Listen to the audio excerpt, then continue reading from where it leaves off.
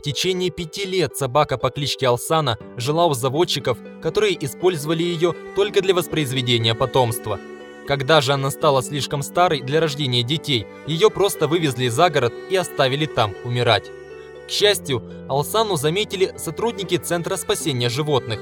Они доставили собаку к себе, но животное было в очень плохом состоянии, причем не только физически, но и психологически. Собака отказывалась идти на контакт с людьми. Даже если кто-то просто проходил мимо дверей ее клетки, она бежала в противоположный конец и буквально забивалась в угол. Девочка смотрела на всех испуганными глазами, боялась даже дышать. В центре понимали, чем дольше Алсана будет у них, тем хуже будет ее самочувствие. Тогда один из сотрудников вспомнил про своих друзей, которые очень любят собак. Он позвонил им и рассказал историю Алсаны. Ребята приехали посмотреть на собаку. Девочка все так же была нелюдима. Во время второго посещения центра Алсану забрали ее новый дом.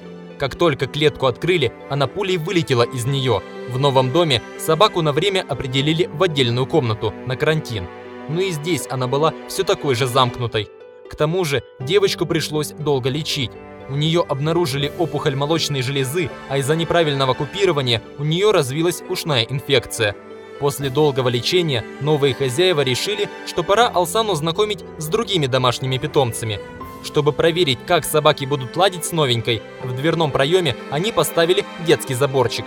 Знакомство прошло хорошо, скоро перегородку они убрали. Собака быстро нашла общий язык с собратьями, перестала бояться и людей. Она больше не жалась к стенке, она вернулась к жизни.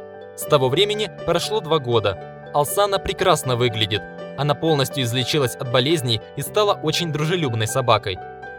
Дорогие друзья, если вам понравилось видео, поставьте лайк, а также подписывайтесь на канал, где вы найдете еще много интересного.